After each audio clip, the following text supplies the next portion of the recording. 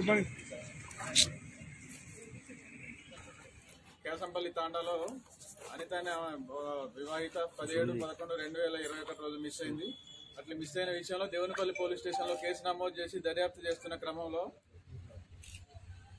ఇక ఆమె ఫోను ఆమె జనరల్గా కామారెడ్డిలో పని చేయడానికి వస్తుంటది. పని చేయడానికి పోయిందని ఆమె భర్త కూడా ఇట్లా పొద్దున్నే పని చేయడానికి పోయింది సరే రాలేదని చెప్పింది దాని మీద ఫోన్ నెంబర్లు తీసుకొని మనం కాల్ డేటా పెడితే ఒక అనుమానాస్పదమైన వ్యక్తి దే- కాలు లాస్ట్లో ఆమెతో మాట్లాడినట్టుగా ఉంటే మనం అతని కోసం ఈ పదిహేను రోజుల నుంచి ఫాలో అప్ చేస్తే అతను దొరికినాడు. దొరికితే అతను ఏంది నీవు అంటే ఆమెతో పాటు నేను కూడా పనికి వచ్చేది సార్ పనికి పోయేదని చెప్పి చెప్పింది మరి చెప్తే ఇట్లా నీకు ఆమె పరిచయమా అంటే మనం పోలీసు అతన్ని ప్రశ్నిస్తే అవునా నాకు పరిచయమే సార్ ఇద్దరం కలిసి మేము అక్కడ మన దేవనపల్లి లిమిట్స్లోనే దేవి గారు పేజ్ ఫోర్ దేవి గారు పేజ్ ఫోర్ వెనకాల కంది చేనులో ఆమెను చంప- చంపేసినానని చెప్తే మన CI rural Kamareddy rural Chandrashekar Reddy and SI Ravikumar వాళ్ళ టీం మొత్తం పోయి అక్కడ చూస్తే ఆ కందిచేనులో మొత్తం కంప్లీట్గా డెడ్ బాడీ మొత్తం కుళ్ళిపోయింది. అక్కడ చూసిన తర్వాత మరి వాళ్ళ భర్త వాళ్ళని పిలిపి ఈ ఫస్ట్ ఇతను చూపించిండు ఎవరు? ఎవరైతే ప్రకాష్ అనే అతను ఉండి ఇతని పరిమళ తాండ లింగంపేట మండలం మన లింగంపేట మండలం పరిమళ తాండ.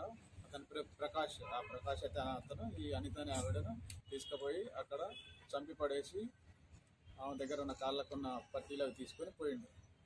మనకు అది అతనే ఆ డెడ్ బాడీని చూపించి ఇట్లా చేసిన సార్ ఇట్లా చేసిన సార్ అని మన వాడి అనే విలేజ్లో ఒక శివార్లో చెరుకు తోటలో ఒకటి పన్నెండు రెండు వేల ఇరవై ఒకటి రోజు ఒక కుళ్ళిపోయిన మహిళ డెడ్ బాడీ అక్కడ రైతులు మనకు ఫోన్ చేస్తే మనం పోయి దాన్ని ట్రేస్ అవుట్ చేయడం జరిగింది.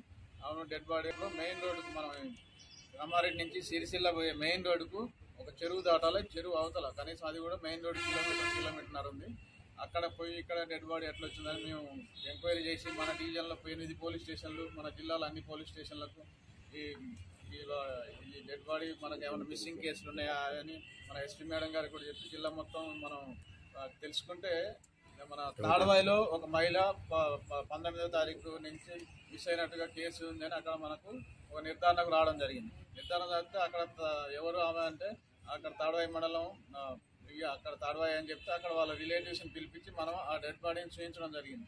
కానీ కంప్లీట్గా డెడ్ బాడీ కూలిపోయి ఉండడం వల్ల ఆమెకు బొట్లో ఉన్న సంచిని బట్టి ప్లస్ అక్కడ ఆమె కట్టుకున్న చీర అనే దాన్ని బట్టి ఈమె మా అమ్మాయి ఇట్లా భర్త ఆరు సంవత్సరాలకి దాన్ని కంటిన్యూ చేస్తుంటే వాళ్ళ సొంత మరిదే. ఎందుకంటే భర్త చనిపోయింది కదా ఆవిడకు. ఆ భర్త చనిపోవడం వల్ల ఆమె సొంత మరిదే. రాజు. కుంట అల్లూరి రాజు అనే అతను. ఆమెకు ఇక సన్నిహితం కావడం ఆమె భర్త చనిపోవడం వల్ల ఇతను కొద్దిగా ఆమెతో రిలేషన్షిప్ ఏర్పాటు చేసుకొని ఆమె- ఆమెతో పాటు అతను కూడా కామారెడ్డికి పనులకు రావడం అట్లా చేస్తున్నాడు. అదే క్రమంలో ఇక ఈమెను చంపేస్తే ఇక నాకు వాళ్ళ అన్న ఆల్రెడీ చనిపోయాడు. ఈమెను కూడా చంపేస్తే నాకు ఇక ఏం ప్రాబ్లం లేకుండా ఉంటుంది. ఏదైనా ఆస్తి చిన్న సన్న ఆస్తున్నా నాకే వస్తుంది అనే ఉద్దేశంతో ఆమె నమ్మించి